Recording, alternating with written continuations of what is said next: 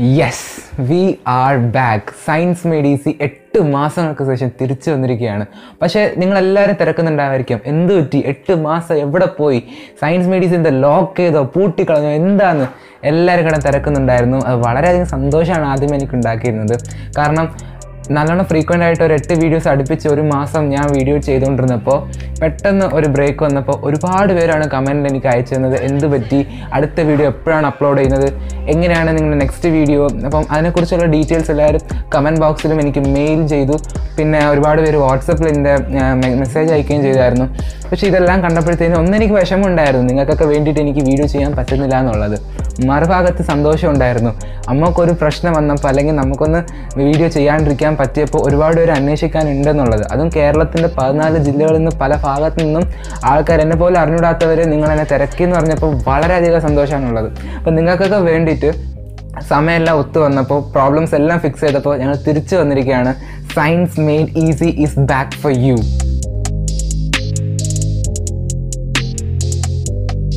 എല്ലാവരുടെയും മനസ്സിൽ ഇപ്പോൾ ഓടുന്നുള്ള ഒരു വിചാരമാണ് അടുത്ത ആഴ്ച അല്ലെങ്കിൽ ഒരാഴ്ച പോലും ഇല്ല ക്രിസ്മസ് പരീക്ഷ എത്തിയിരിക്കുകയാണ്. അത് നിങ്ങൾക്ക് എല്ലാവർക്കും അറിയാം. ഈ സെക്കൻഡ് ടേം എന്ന് പറയുന്നത് ബിസിയസ്റ്റ് ഓഫ് ദ ടേംസ് ആണ്. നമുക്ക് പഠിക്കാനുള്ളത് വെച്ച് ഏറ്റവും ബിസിയസ്റ്റ് ഓഫ് ടേംസ് ആണ്. കാരണം കിട്ടുന്നത് വളരെ കുറച്ച് സമയം രണ്ടോ മൂന്നോ മാസം. പഠിക്കാനുള്ളത് ഭണ്ഡാരം കണക്കിരിപ്പുണ്ട്. ഈ സമയത്താണ് കലോത്സവവും ശാസ്ത്രോത്സവവും കുന്തം കുറച്ചവർക്കും ലൊട്ട് ലൊടുക്കുന്നൊക്കെ സാധനങ്ങളൊക്കെ വരുന്നത്. ഇതിനിടയ്ക്കൊക്കെ നമ്മളെ ലൈഫ് ബിസി ആകുമ്പോഴത്തേനും പഠിക്കാൻ ഒരിക്കലും സമയം കിട്ടില്ല ആ സമയത്താണ് ആ വരുന്ന പരീക്ഷയാണ് അടുത്ത ആഴ്ച ഒരാഴ്ച പോലും ഇല്ലാണ്ട് നിൽക്കുന്നത്. ഡിസംബർ ഒമ്പതിനാണ് നിങ്ങളുടെ ക്രിസ്മസ് പരീക്ഷ സ്റ്റാർട്ട് ചെയ്യുന്നത് സെക്കൻഡ് ലാംഗ്വേജിന്റെ എക്സാമോടെ അപ്പോൾ എൽ പലരും പറയുന്നുണ്ടാവും ഈ പറഞ്ഞ കലോത്സവത്തിലൊക്കെ ഈവൻ ഞാനും ക്യാമറമാനും കൂടെ കഴിഞ്ഞ ആഴ്ച കഴിഞ്ഞ ദിവസം അങ്ങോട്ട് കാഞ്ഞങ്ങാട് പോയിട്ട് കലോത്സവം കഴിഞ്ഞിട്ട് വന്നതേ ഉള്ളൂ. അപ്പോൾ ഇത്രയും ദിവസം വേസ്റ്റ് ചെയ്ത സമയം എങ്ങനെ ഇനി ഈ പറയുന്ന ഒരു ഏഴ് ആറ് ദിവസങ്ങൾ കൊണ്ട് തിരിച്ചെടുക്കാൻ പറ്റും? എങ്ങനെയാണ് ക്രാക്ക് ചെയ്യാൻ പറ്റുന്നത്? അതിനെക്കുറിച്ചുള്ള കുറച്ച് സ്റ്റഡി ടിപ്സ് ആയിട്ടാണ് ഞാൻ നിങ്ങൾക്ക് എടുത്തിരിക്കുന്നത്. പ്രാവശ്യം സ്റ്റഡി വീഡിയോ അല്ല ഒരു ട്രിക്ക് വീഡിയോ ആണ്. ഓക്കെ ട്രിക്ക് നമ്പർ വൺ അത് അൾട്ടിമേറ്റ് സ്ട്രാറ്റജിയാണ് നിങ്ങൾക്ക് ഞാൻ പറഞ്ഞുതരാൻ പോകുന്നത്. അത് എല്ലാവരും ഫോളോ ചെയ്യേണ്ടതാണ്. പലരും ഫോളോ ചെയ്യാത്ത ചെയ്യാത്തതും അതുകൊണ്ട് തന്നെ പ്ലസ് വൺ പ്ലസ് ടുവിൽ മാർക്ക് കുറഞ്ഞ് പലരെയും ഞാൻ കണ്ടിട്ടുണ്ട്. അതാണ് follow your N C E R T N C R T text book follow ചെയ്യാണ്ട് ഒരു രക്ഷയില്ല മക്കളെ. പക്ഷേ നിങ്ങളെല്ലാവരും വിചാരിക്കുന്നുണ്ടാവും എൻ സി ആർ ടിയിൽ വലിച്ച് വാരിയാണ് ആ ടെക്സ്റ്റ് പോർഷൻസ് കിടക്കുന്നത്. വായിച്ച ഒട്ടും തന്നെ മനസ്സിലാവില്ല. അറിയാം. ഇതേ അവസ്ഥ വരുന്ന ആൾ ആൾ തന്നെയാണ് ഞാനും.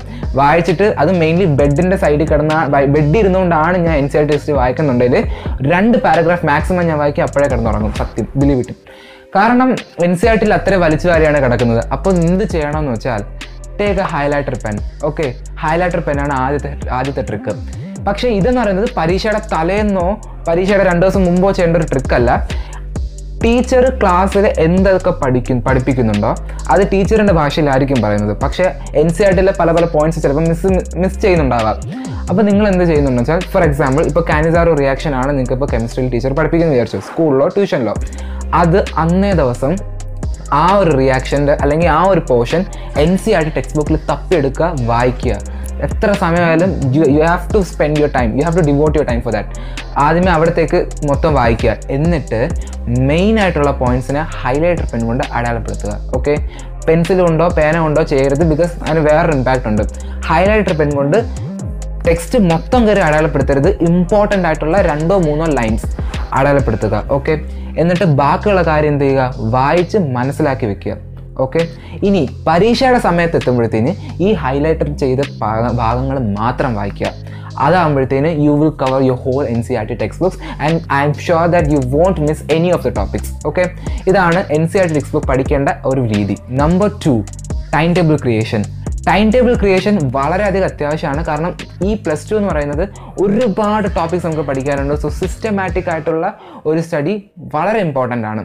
പക്ഷേ എപ്പോഴും കാണുന്ന ഒരു പ്രതിഭാസം എന്ന് പറയുന്നത് ടൈം ടേബിൾ നമ്മൾ ക്രിയേറ്റ് ചെയ്ത് വെക്കും. അല്ലെങ്കിൽ ആദ്യത്തെ ഇപ്പം നിങ്ങൾക്ക് ഇപ്പോൾ ഡിസംബർ വണ്ണിലേക്ക് പഠിക്കാൻ വേണ്ടത് ഇന്ന റിയാക്ഷൻ ആയിരിക്കും. അപ്പോഴത്തേന് ഡിസംബർ ടൂവിലേക്ക് അത് മാറ്റി വെക്കാം. ഇന്നത് പഠിക്കാൻ സമയമില്ല നാളത്തേക്ക് പഠിക്കാം. അങ്ങനെ മാറ്റി മാറ്റി വെച്ചിട്ട് അവസാനം ഈ പറഞ്ഞ ടൈം ടേബിളിലെല്ലാം പരീക്ഷയുടെ തലേന്ന് പഠിക്കുന്ന ഒരു പ്രവണതയാണ് നമ്മളുള്ളിൽ കണ്ടുവരാറുള്ളത്. ഈവൻ ഞാനും. ടെൻത്ത് വരെ അങ്ങനെ ആയിരുന്നു പക്ഷേ പ്ലസ് വൺ ഇമ്പ്രൂവ്മെന്റ് ആയപ്പോഴത്തേന് ഈ സംഭവം ഞാൻ മാറ്റിയെടുത്തു. മാറ്റി അപ്പോൾ അങ്ങനെ ഒരു പ്രവണത മാറ്റിയെടുക്കണം. മാറ്റിയെടുക്കാൻ ഒരു ട്രിപ്പ് ട്രിക്ക് കൂടി ഞാൻ ഇതിന്റെ കൂടെ പറയാം. ഇപ്പോൾ പറയുന്നില്ല. കുറച്ച് നേരം കഴിഞ്ഞ് പറയാം. അപ്പോൾ എത്രയും പെട്ടെന്ന് തന്നെയാണ് ടൈം ടേബിൾ ക്രിയേഷൻ നിങ്ങൾ ചെയ്യേണ്ടത്. പിന്നെ ടൈം ടേബിൾ ക്രിയേറ്റ് ചെയ്യുമ്പോൾ ശ്രദ്ധിക്കേണ്ട ഒന്നാമത്തെ കാര്യം ഡിഫിക്കൾട്ട് ആയിട്ടുള്ള ടോപ്പിക്സ് ആദ്യം ആദ്യമേ പഠിച്ചു തീർക്കുക. ഏറ്റവും എളുപ്പമുള്ള കാര്യങ്ങൾ പരീക്ഷയുടെ തലേന്ന് പഠിക്കുക. ഡിഫിക്കൽട്ട് ആയിട്ടുള്ള ടോപ്പിക് പരീക്ഷയുടെ തലേന്ന് അടിക്കുമ്പോഴത്തേന് എളുപ്പമുള്ളതും മറന്നു ഡിഫിക്കൽട്ടായിട്ടുള്ളതും മറന്നു സോ ഡിഫിക്കൽട്ട് ആയിട്ടുള്ള നിങ്ങൾക്കിപ്പം ഫോർ എക്സാമ്പിൾ ഇപ്പോൾ ഇന്റഗ്രേഷൻ ആണ് നിങ്ങൾക്ക് പഠിക്കാൻ പാടുള്ളതെങ്കിൽ ഇന്റഗ്രേഷനിലെ ഇന്റഗ്രേഷൻ ബൈ പാർട്സ് അതായിരിക്കും ചിലപ്പം കൂടുതലും ടഫായിട്ടുള്ളത് സോ അതൊക്കെ ആണെങ്കിൽ ആദ്യമേ വർക്കൗട്ട് ചെയ്ത് വരിക. ഫിസിക്സ് ഒക്കെ ആകുമ്പോഴത്തേന് ഡെറിവേഷൻസ് ഒക്കെ ആദ്യമേ പഠിക്കുക. സോ എങ്ങനെ ടൈം ടേബിൾ ക്രിയേറ്റ് ചെയ്യുക എന്നുള്ളത് ഞാൻ ഇപ്പം ഒന്ന് പറഞ്ഞുതരാം. സോ ഫിസിക്സിന്റെ കേസിൽ ടൈം ടേബിൾ ക്രിയേഷൻ ആണെങ്കിൽ ഒരിക്കലും ഒരു ചാപ്റ്റർ അതും ഈ പരീക്ഷയുടെ തലേന്ന് നിങ്ങൾ പഠിക്കുമ്പോൾ ആദ്യമേ ടെക്സ്റ്റിനകത്ത് എങ്ങനെ ഉണ്ടോ ടെക്സ്റ്റിനകത്ത് ഏത് ഓർഡറിലാണോ പഠിച്ചു പോകുന്നത് ആ ഒരു ഓർഡർ നിങ്ങൾ പോകരുത് കാരണം പഠിച്ച തീരൂല. അപ്പോൾ എങ്ങനെ പഠിക്കണം എന്ന് വെച്ചാൽ പരീക്ഷയ്ക്ക് പ്രിഫറൻഷ്യൽ ആയിട്ട് പഠിക്കുന്നതായിരിക്കും ഏറ്റവും കൂടുതൽ എളുപ്പം. ഇപ്പം ടീച്ചർ പഠിപ്പി പഠിപ്പിക്കുന്നില്ല ആദ്യമേ ഡെറിവേഷൻസ് പഠിപ്പിക്കാം. പിന്നെ തന്നെ പലതരം മെഷീൻസിനെ കുറിച്ച് നമുക്ക് പഠിക്കാനുണ്ട്. മെഷീൻസിന്റെ കൺസ്ട്രക്ഷൻ പ്രിൻസിപ്പിൾ വർക്കിംഗ് പ്രിൻസിപ്പിൾ അങ്ങനെ ഒരുപാട് സാധനങ്ങൾ പിന്നെ പറയുന്നത് തിയറി തിയറി പല തിയറികൾ നമ്മൾ പഠിക്കാറുണ്ട്. സോ അങ്ങനെ പല പല കാറ്റഗറിയിലാണ് ഫിസിക്സിന്റെ കേസ് വരുന്നത്. ഫിസിക്സിന്റെ കേസിൽ നമ്മൾ ആദ്യമേ പഠിക്കേണ്ടത് ഡെറിവേഷനാണ് ഡെറിവേഷനെ നിങ്ങൾ ലിസ്റ്റ് ഔട്ട് ചെയ്യുക. ഫസ്റ്റ് തിങ് ലിസ്റ്റ് ഔട്ട് ചെയ്യുക. ചാപ്റ്റർ വൈസിൽ എത്ര എത്ര ഡെറിവേഷൻ ഉണ്ടോ? കറണ്ട് ഇലക്ട്രിസിറ്റിയിലാകുമ്പോഴത്തേന് ആ പറഞ്ഞ റിലാക്സേഷൻ ടൈമിനും കറണ്ടിനും തമ്മിലുള്ള ഇന്റൻസിറ്റി കറണ്ടും തമ്മിലുള്ള ആ ഒരു റിലേഷൻ പിന്നെ മാഗ്നറ്റിസം ആകുമ്പോഴത്തേന് പല നമുക്ക് ഇതുണ്ടല്ലോ ബി എൽ വി ഒക്കെ കണ്ടുപിടിക്കാനുള്ള ഇലക്ട്രോ മാഗ്നറ്റിക് ഇൻഡക്ഷൻ ആയാലും പിന്നെ റേ ഒട്ടിക്സിലായാലും ഒരുപാട് മിറർ ഇക്വേഷൻ ഡെറിവേഷൻ ഉണ്ടല്ലോ. ഈ ഡെറിവേഷൻസ് ഒക്കെ നിങ്ങൾ ലിസ്റ്റ് ഔട്ട് ചെയ്യുക. പോയിന്റ് നമ്പർ വൺ ഈ ലിസ്റ്റ് ഔട്ട് ചെയ്ത ഡെറിവേഷൻസ് ഒക്കെ ഇത്ര ദിവസത്തിനുള്ളിൽ മാക്സിമം മൂന്ന് ദിവസങ്ങളിലുള്ളിൽ പഠിച്ചു തീർക്കാൻ നോക്കുക. നമ്പർ ടു മെഷീൻസ് മെഷീൻസ് ഇപ്പോൾ നമുക്ക് ഇപ്പോൾ പഠിക്കാനുള്ളതിൽ വെച്ചിട്ട് പല ചാപ്റ്റേഴ്സിന്റെ അവസാനം നമുക്ക് കുറച്ച് മെഷീൻസിനെ കുറിച്ച് പഠിക്കാനുണ്ട്. ഫോർ എക്സാമ്പിൾ ഇപ്പോൾ സൈക്ലോട്രോൺ സൈക്ലോട്രോണിന്റെ കൺസ്ട്രക്ഷൻ എങ്ങനെയാണ്? സൈക്ലോട്രോണിന്റെ വർക്കിംഗ് പ്രിൻസിപ്പിൾ എങ്ങനെയാണ്? അതേപോലെ തന്നെയാണ് എ സി എ സിക്കകത്ത് നമുക്ക് അവസാനം ട്രാൻസ്ഫോമറിനെ കുറിച്ച് പഠിക്കാനുണ്ട്. പിന്നെ എ സി ജനറേറ്ററിനെ കുറിച്ച് ഇ എം ഐയിൽ പഠിക്കാനുണ്ട്. സോ ഇതൊക്കെ ആദ്യമേ ഈ ഡെറിവേഷന് കഴിഞ്ഞ് പഠിക്കുക.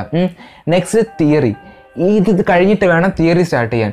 തിയറി പഠിക്കുമ്പോൾ എന്താണ്? ഇലക്ട്രോ മാഗ്നറ്റിക് ഇൻഡക്ഷൻ എന്താണ്? മ്യൂച്വൽ ഇൻഡക്ഷൻ സെൽഫ് ഇൻഡക്ഷൻ എന്താണ്? അതേപോലെ തന്നെ Fleming's left hand right hand rule അങ്ങനെയൊക്കെ പലതുണ്ടല്ലോ. ഈ റൂൾസ് എല്ലാം ഇതിന് ശേഷം പഠിക്കാൻ നോക്കുക ഇങ്ങനെ പഠിക്കുന്നുള്ള ഗുണം എന്താണെന്ന് വെച്ചാൽ ഈ ഡെറിവേഷൻസും ഇമ്പോർട്ടന്റ് ആയിട്ടുള്ള പോയിന്റ്സ് ഒക്കെ മാത്രമേ പരീക്ഷയ്ക്ക് ചോദിക്കാറുള്ളൂ. ഈ പറയുന്ന പരീക്ഷയ്ക്ക് ക്വസ്റ്റ്യൻസ് ഇടുന്ന ടീച്ചേഴ്സ് എന്ന് പറയുന്നതും ഇമ്പോർട്ടന്റ് ആയിട്ടുള്ള ടോപ്പിക്സ് പല ക്വസ്റ്റ്യൻ പേപ്പറിൽ കണ്ടറിഞ്ഞ് ചെയ്യുന്ന കണ്ടറിഞ്ഞിട്ടാണ് അവർ ക്വസ്റ്റ്യൻ പേപ്പേഴ്സിൽ ഇടുന്നത്. സോ ആദ്യമേ ഈ കാര്യങ്ങളൊക്കെ പഠിച്ചു പോയാൽ അവസാനം ഈ തിയറി എല്ലാം ഈ പറഞ്ഞ ഡെറിവേഷൻ മെഷീനറീസ് പിന്നെ തിയറി എല്ലാം പഠിച്ചു വരുമ്പോഴത്തേന് ഓൾമോസ്റ്റ് നയന്റി പെർസെന്റ് നമ്മൾ നമ്മൾ പോലും അറിയാണ്ട് ചാപ്റ്റർ കംപ്ലീറ്റ് ആവുന്നതായിട്ട് കാണാൻ പറ്റും. പട്ട പട്ടയെന്ന് ചാപ്റ്റർ തീരും. ഓരോ ചാപ്റ്റർ വൈസ് ആയിട്ട് പോയിക്കൊണ്ടിരുന്ന നടക്കണമെന്നില്ല അപ്പോൾ അടുത്ത സ്ട്രാറ്റജി നിങ്ങൾ ഇങ്ങനെയായിട്ട് പഠിക്കാൻ നോക്കുക കെമിസ്ട്രിയുടെ കാര്യത്തിൽ റൺ വേറെ രീതിയാണ്. കെമിസ്ട്രി നിങ്ങൾ ഇനോർഗാനിക്കും ഓർഗാനിക്കും തനിയെ പഠിക്കുക.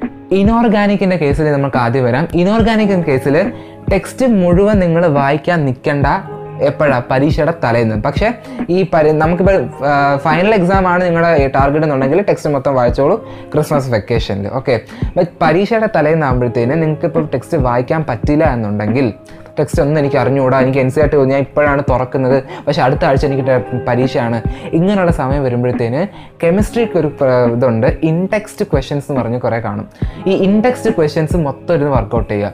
ഇൻടെക്സ്റ്റ് ക്വസ്റ്റ്യൻസിനകത്ത് ചിലപ്പം ആദ്യത്തെ ഒരു ക്വസ്റ്റ്യനകത്ത് നമുക്ക് ഫസ്റ്റ് ആൻസർ അറിയില്ല എന്നുണ്ടെങ്കിൽ ആ ഭാഗം വരുന്ന ടോപ്പിക് എന്താണെന്ന് ആ പറയുന്ന ആ ലെസന്റെ പോർഷൻ ഉണ്ടല്ലോ ടെക്സ്റ്റ് തപ്പിയെടുക്കുക. തപ്പിയെടുത്തിട്ട് ആ ഭാഗം മുഴുവൻ പഠിക്കുക. ഓക്കെ അതാകുമ്പോഴത്തേന് പ്രിഫറൻഷ്യൽ ആയിട്ട് നമ്മൾ പഠിച്ചു പോവാണ്.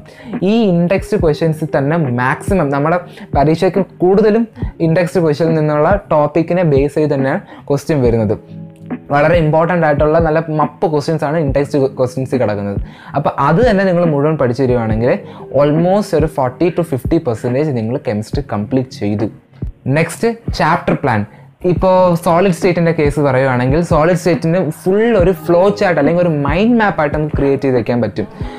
എന്നിട്ട് ആ മൈൻഡ് മാപ്പിനുള്ള ഓരോരോ പോയിന്റ്സ് ഫോർ എക്സാമ്പിൾ ഇപ്പോൾ സോളിഡ് സ്റ്റേറ്റ് എടുത്തു. സോളിഡ് സ്റ്റേറ്റ് എടുക്കുമ്പോഴത്തേനും ആദ്യമേ നമ്മൾ സോളിഡിനെ രണ്ടായിട്ട് ക്ലാസിഫൈ ചെയ്യുന്നു. എന്റെ പഴയ വീഡിയോയിൽ ഞാൻ നിങ്ങൾ ഇട്ടിട്ടുണ്ടായിരുന്നു. അപ്പോൾ എന്താണ് ക്രിസ്റ്റലൈൻ എന്നും അമോർഫസ് എന്നും. പിന്നെ ഈ ക്രിസ്റ്റലൈനെ തന്നെ പലതരത്തിലുള്ള ഡിവിഷൻ ഉണ്ട്. അമോർഫസിന് നമുക്ക് ജസ്റ്റ് അത്രേ തീർക്കുന്നുള്ളൂ. ക്രിസ്റ്റലൈനിലുള്ള ഡിവിഷൻസിന്റെ ഡിവിഷൻസ് പഠിക്കാനുണ്ട്. ഇതെല്ലാം കഴിഞ്ഞിട്ട് നെക്സ്റ്റ് ടോപ്പിക് എടുക്കുമ്പോഴാണ് പാക്കിംഗ് എഫിഷ്യൻസി പാക്കിംഗ് എഫിഷ്യൻസി വരുമ്പോൾ പലതരത്തിലുള്ള പാക്കിംഗ് അടുത്ത flow chart hexagonal close packing cubical square അങ്ങനെ പല ക്ലോസ് പാക്കിംഗ് അടുത്തത് വരുമ്പോഴത്തേന് ഡിഫക്റ്റ് ഡിഫക്റ്റ് വരുമ്പോഴത്തേന് രണ്ട് ഡിഫക്റ്റ് സ്റ്റോഷോമെറിക്കും നോൺ സ്റ്റോഷോമെറിക്കും ആ നോൺ സ്റ്റോഷ്യോമെറിക്കിലും സ്റ്റോഷ്യോമെറിക്കിലും വരുന്ന ഡിഫക്റ്റുകൾ അപ്പോൾ അതൊക്കെ നമ്മൾ ജസ്റ്റ് ആ ഹെഡിങ് മാത്രമേ എഴുതുന്നുള്ളൂ. എന്നിട്ടൊരു ചെക്ക് ലിസ്റ്റ് ഇടുക. ഇന്ന കാര്യങ്ങൾ ഇമ്പോർട്ടന്റ് ആയിട്ട് നമ്മൾ പഠിച്ച് തീർന്നോ? അപ്പം ചെക്ക് ലിസ്റ്റ് എടുത്ത് ഒരു ചാപ്റ്റർ പ്ലാൻ കൃത്യമായിട്ട് ചെയ്ത് പോവുക.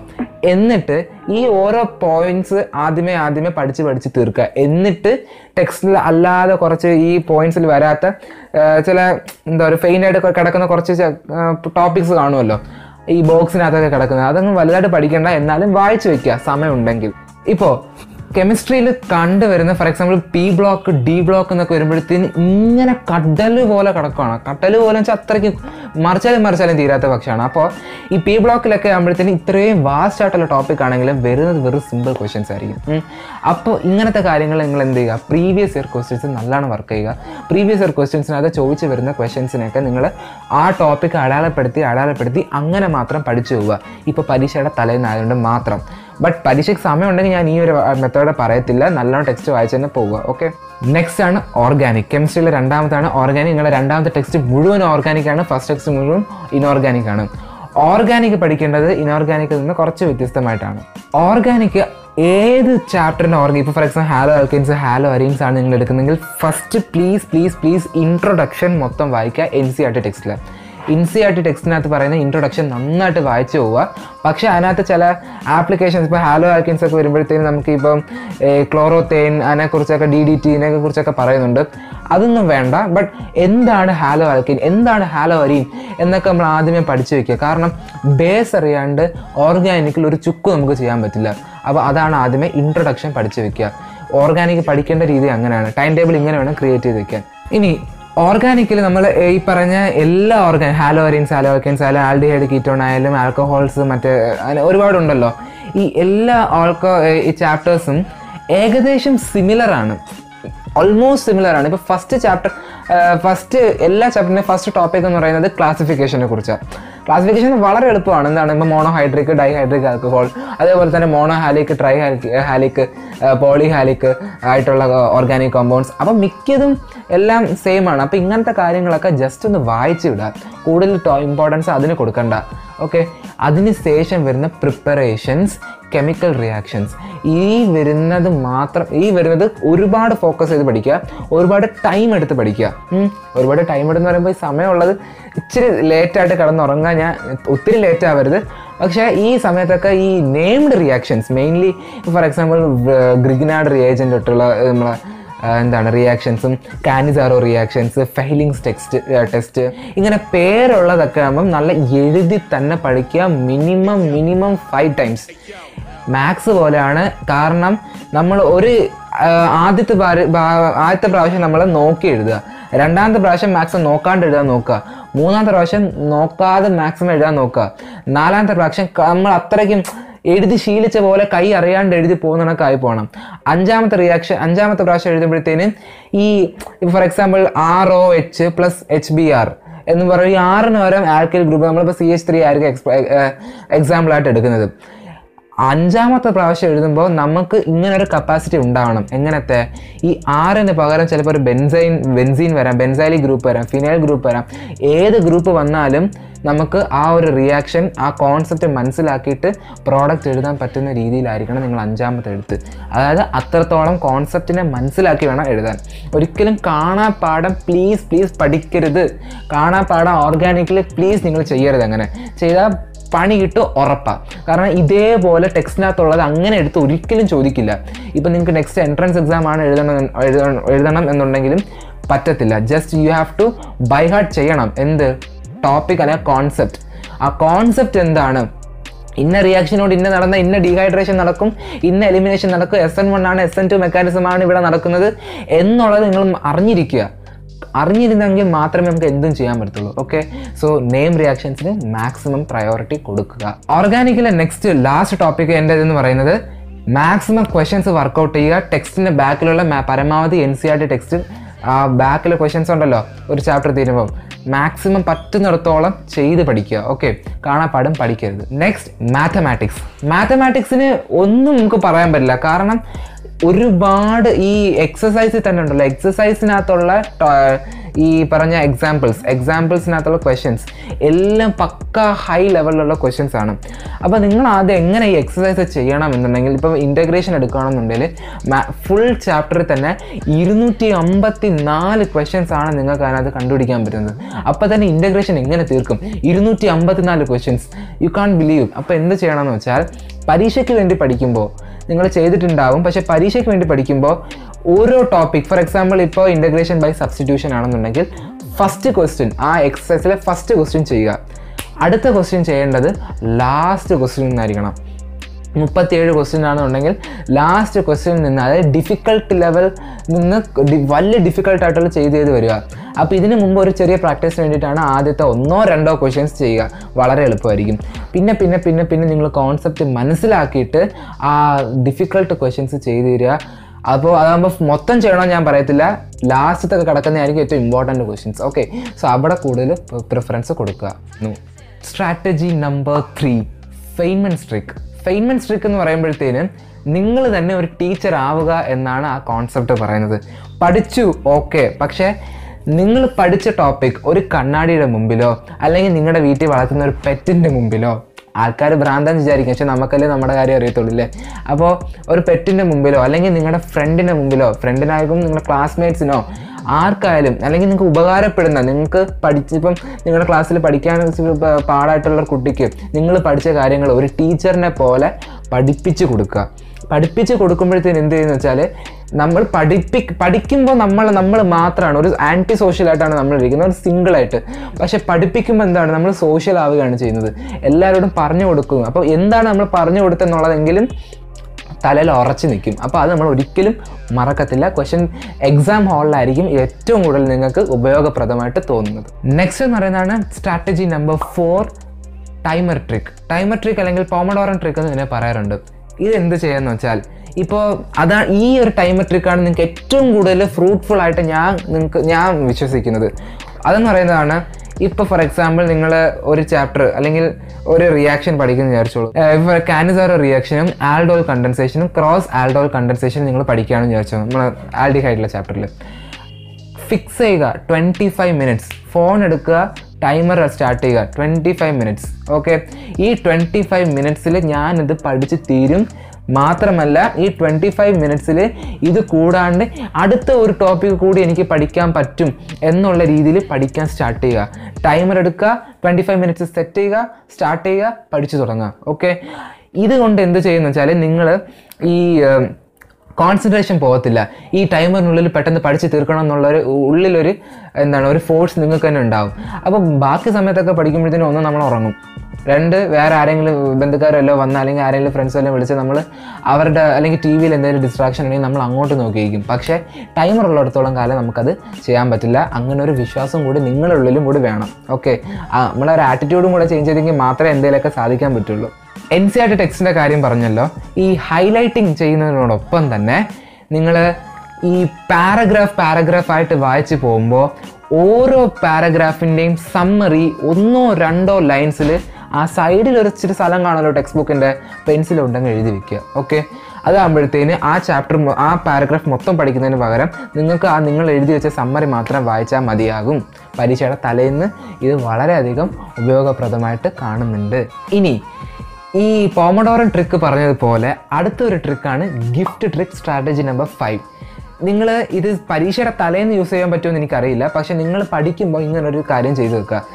ഒരു ചാപ്റ്റർ നിങ്ങളൊരു ചലഞ്ച് ഏറ്റെടുക്കുക. ഒരു ചാപ്റ്റർ ഞാൻ രണ്ട് ദിവസം കൊണ്ട് പഠിച്ചെടുക്കും വലിയൊരു ചാപ്റ്റർ ഞാൻ രണ്ടോ മൂന്നോ ദിവസം കൊണ്ട് കുറഞ്ഞ കാലയളവിൽ ഞാൻ മാക്സിമം പഠിച്ചെടുക്കും. എന്ന് നിങ്ങൾ ആദ്യമേ ഒരു ചലഞ്ച് ക്രിയേറ്റ് ചെയ്യുക. ആ ചലഞ്ചിനെ നിങ്ങൾ അക്സെപ്റ്റ് ചെയ്തെങ്കിൽ ആ അക്സെപ്റ്റ് ചെയ്ത ചലഞ്ചിനെ നിങ്ങൾ പറഞ്ഞ കൃത്യ കാലാവധി കൊണ്ട് നിങ്ങൾ കംപ്ലീറ്റ് ചെയ്യുകയാണെന്നുണ്ടെങ്കിൽ നിങ്ങൾ തന്നെ നിങ്ങൾക്കൊരു ഗിഫ്റ്റ് വാങ്ങിച്ചു കൊടുക്കുക. ഫോർ എക്സാമ്പിൾ അതെന്തോ ആയിക്കോട്ടെ. ഒരു മുട്ടായോ ഒരു ഗുൽഫിയോ എന്ത് നിങ്ങൾ വാങ്ങിച്ചു കൊടുത്തോളൂ. അങ്ങനെ ആകുമ്പോഴത്തേന് വീണ്ടും വീണ്ടും നമുക്കത് പഠിക്കണം. അടുത്ത ഗിഫ്റ്റ് നമുക്ക് വാങ്ങിക്കണം. നിങ്ങളോ അല്ലെങ്കിൽ നിങ്ങളുടെ പാരൻസിനോടോ നിങ്ങൾ ഈ കാര്യം പറയുക. അപ്പോൾ അതാകുമ്പോഴത്തേന് പാരൻസ് എന്തായാലും സ്റ്റുഡൻസ് അവരെ മക്കൾ പഠിക്കാൻ വേണ്ടിയിട്ട് ഒത്തിരി കഷ്ടപ്പെടുന്നുണ്ടാവും. അപ്പോൾ ഇതൊക്കെ കേൾക്കുമ്പോഴത്തേന് അവർക്കൊരു ഊർജം ഉണ്ടാവും. ഓക്കെ മുട്ടായി കൊടുക്കുന്നുണ്ടെങ്കിലും കുട്ടി പഠിക്കുന്നുണ്ടല്ലോ.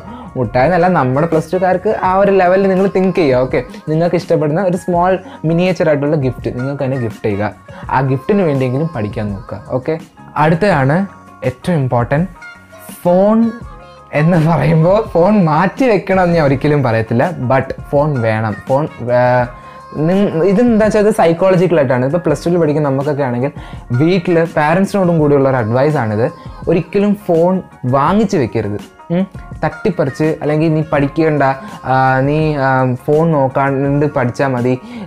എന്ന് വെച്ച് ദേഷ്യപ്പെട്ട് വഴക്ക് പറഞ്ഞ് പ്ലീസ് ഫോൺ വാങ്ങിച്ച് വെക്കരുത്. അതെന്ന് പറയുന്നത് എങ്ങനെയെങ്കിലൊക്കെ ആയിരിക്കും ഈ എൻ സി ആർ ടെസ്റ്റ് നമ്മൾ പഠിക്കാൻ വരുന്നത്. അതിന് തന്നെ ഒരു പ്രത്യേക തരം മൈൻഡ് സെറ്റ് ഉണ്ടാകും ആ മൈൻഡ് സെറ്റ് എങ്ങനെയും പിടിച്ചെടുക്കുന്നതന്നെ വളരെ കഷ്ടപ്പെട്ടിട്ടായിരിക്കും. ഇതിനിടയ്ക്ക് ഈ ഫോൺ കൂടെ വാങ്ങിച്ച് വെച്ചെന്നുള്ള ടെൻഷൻ വരുമ്പോഴത്തേന് ഫുൾ കട്ടപ്പോവുകയാവും അപ്പോൾ നിങ്ങളായിട്ട് എന്ത് അപ്പം പാരൻസ് എന്ത് ചെയ്യുക വെച്ചാൽ ഫോൺ മാക്സിമം വാങ്ങിച്ച് വെക്കാതിരിക്കുക പക്ഷേ ഇങ്ങനെ ചെയ്യുക. ആ ഒരു ഫോൺ മറ്റ് കാര്യങ്ങൾക്കൊന്നും അല്ലെങ്കിൽ സോഷ്യൽ മീഡിയ യൂസ് ചെയ്യാണ്ട് അല്ലെങ്കിൽ ഡിസ്ട്രാ പഠിത്തത്തിൽ നിന്ന് ഡിസ്ട്രാക്ട് ആവാത്ത രീതിയിൽ യൂസ് ചെയ്യുന്നുണ്ടോ എന്ന് നിങ്ങൾ ശ്രദ്ധിക്കുക. ബട്ട് ഫോൺ വാങ്ങിച്ചു വെക്കാതിരിക്കുക. അതുപോലെ തന്നെ അവരുടെ ഇഷ്ടങ്ങൾ തടസ്സപ്പെടാതിരിക്കുക. അവർക്കൊരു ആപ്റ്റ് ആയിട്ടുള്ള എൻവയൺമെന്റ് ക്രിയേറ്റ് ചെയ്ത് കൊടുക്കുക. ഇനി ഫോൺ നിങ്ങളുടെ കയ്യിലുണ്ടെങ്കിൽ പ്ലീസ് ഫ്ലൈറ്റ് മോഡ് ലോഞ്ച് ചെയ്ത് വെക്കുക. ഫ്ലൈറ്റ് മോഡ് ഓൺ ചെയ്ത് വെച്ചിട്ട് മാത്രമേ ഫോൺ കയ്യിൽ നിന്ന് പഠിക്കുക. അഥവാ നിങ്ങൾക്ക് എന്തെങ്കിലും മനസ്സിലാവുന്നില്ല അതിന് ഡൗട്ട് വല്ലതും ഉണ്ടെങ്കിൽ ഇപ്പോൾ ഞങ്ങളെ പോലത്തെ ചാനലുകളിൽ നിങ്ങൾക്ക് കാണണമെന്നുണ്ടെങ്കിൽ അപ്പോൾ ഫോൺ യൂസ് ചെയ്തോളൂ. കാരണം അത് നിങ്ങൾ പഠിക്കാൻ വേണ്ടിയിട്ടാണ് യൂസ് ചെയ്യുന്നത്. അല്ലാണ്ട് നിങ്ങൾ സോഷ്യൽ മീഡിയയിലൊക്കെ കുറച്ച് നേരത്തേക്ക് ഒന്ന് ആലോചിച്ച് നോക്ക്.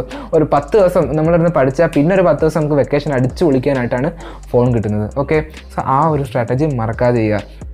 ഇന്ന ദിവസം ഞാൻ ഇന്നത് പഠിക്കുകയാണെന്നുണ്ടെങ്കിൽ ഇപ്പോൾ ഞാൻ കാൻസർ റിയാക്ഷൻ വരെ പഠിച്ച് തീർന്നു എന്നുണ്ടെങ്കിൽ ഇനി അടുത്തൊരു ടോപ്പിക്കും കൂടി എനിക്ക് ഈ പറഞ്ഞ കൃത്യ ടൈമിലുണ്ട് ഞാൻ പഠിച്ച് തീർക്കും എന്നുള്ള ഒരു ചാലഞ്ച് അക്സെപ്റ്റ് ചെയ്യുക.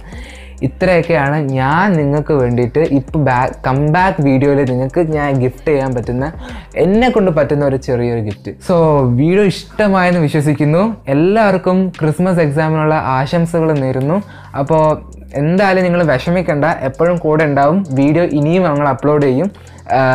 എന്തായാലും നിങ്ങൾ എല്ലാവരും സപ്പോർട്ടിന് വളരെയധികം നന്ദി.